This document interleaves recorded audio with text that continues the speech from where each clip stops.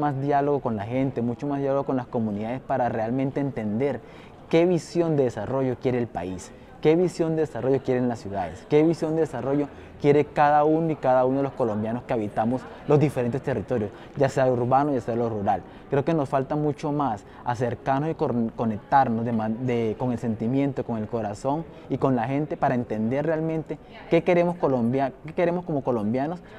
entender o querer en el desarrollo del país. No solamente ahorita 10 años o 20 años, 30 años, sino lo que queremos como colombianos entender y dimensionar en un plan de vida donde todos realmente nos sintamos colombianos pero colombianos en un marco de una diferencia, en un marco de una diversidad, donde podamos caminar juntos,